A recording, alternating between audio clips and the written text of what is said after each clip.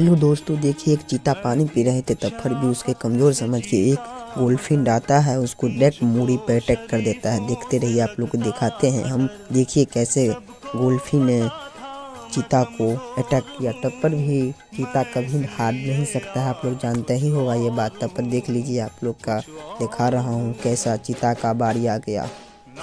देखिए, मगरमच्छ को कैसे पकड़ा, देखिए देखिए।